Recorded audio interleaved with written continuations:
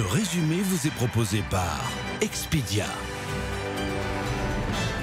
et PlayStation, sponsor de l'UEFA Champions League.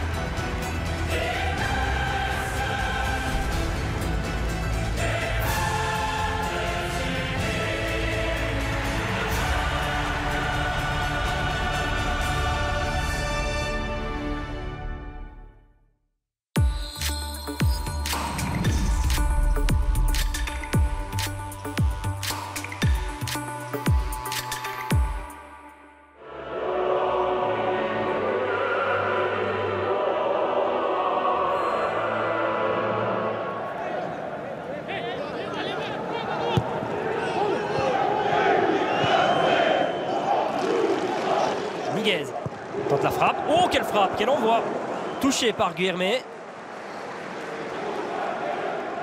Excellente qualité de frappe de Saul Niguez qui a envie de fêter son retour de la plus belle des manières. Et un nouveau coup de coin pour les Madrilènes. Pourquoi pas maintenant? Le premier n'était pas si mal donné que ça. Le deuxième est un petit peu moins. Il n'y a personne à la réception. Mais le deuxième ballon est pour André Correa. Petit format qui préfère attendre à l'entrée du rectangle. C'est souvent un bon placement. Le centre, il est pas mal. La tête Oh, ça termine au fond. Ça termine au fond. C'est une tête de Joao Félix, je pense. Non, évidemment, c'est pas Joao Félix, c'est pas la taille, mais quelle euh, petite toile de Guillerme qui se trouve un petit peu après un arrêt qui était euh, pas spécialement utile. Il se fait avoir sur ce centre et cette tête euh, de Jiménez.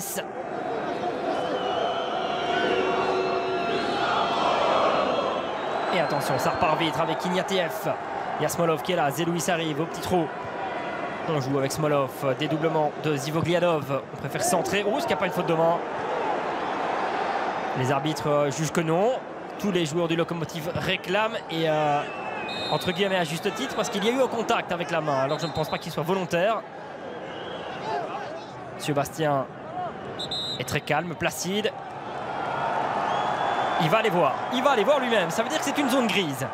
Ça veut dire que Monsieur Willy et son assistant, Monsieur Bittigen, ne sont pas sûrs, pas formels.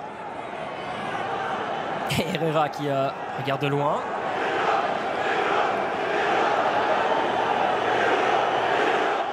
Et il accorde le penalty. Et bien voilà, euh, règlement respecté euh, plus ou moins à la lettre, plus ou moins parce qu'il il étend hein, sa surface corporelle. Et donc, un petit cadeau pour les Moscovites avec ce penalty accordé par Monsieur Bastien.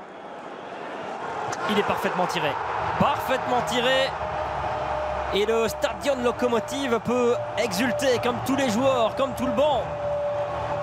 Respirer enfin avec euh, cette égalisation sur penalty. Anton Miranchuk. Ça va relancer le match évidemment. Ça va peut-être euh, influencer un peu, échanger l'état d'esprit. Ah, chez lui, non. Il n'est pas plus satisfait que ça, Nikolic. Il sait qu'il revient de loin. Il sait que c'est essentiel, mais qu'il y a du boulot encore pour aller chercher plus que ce point.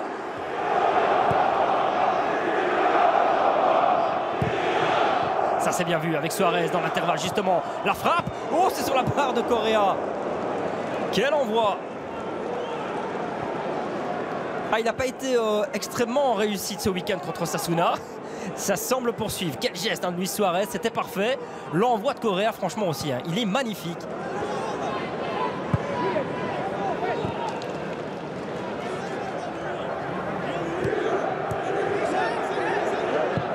Coquet. Oh, il est bon ce ballon. Oh, il est magnifique ce ballon. Correa, a Suarez qui demande. Joe Félix, les artistes sont là.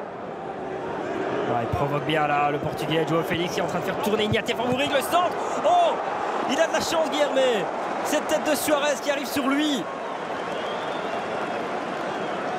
Arrêt réflexe, ça vient sur lui, mais il faut encore avoir le bon réflexe derrière. Mais Joao Félix qui a pété un rein d'Ignatieff. Le centre est parfait et là Suarez qui met sa tête. Il s'est compliqué de la mettre mieux hein, pour Luis Suarez.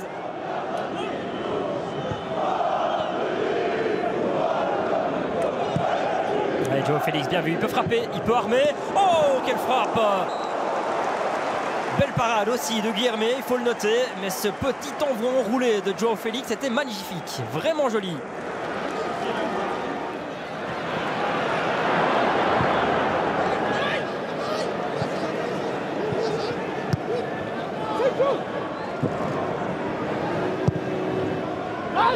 Le ballon arrive là chez Joao Félix et nouvel arrêt de Guillermé qui a décidé de frustrer le portugais. Ah pour le moment c'est l'homme du match, le gardien du locomotive Moscou. Et un petit passage, un petit, euh, un petit mot au passage de Guilherme pour Joao Félix.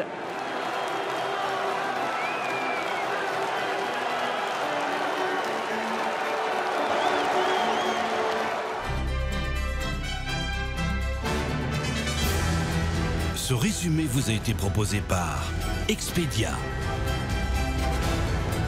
et PlayStation, sponsor de l'UEFA Champions League.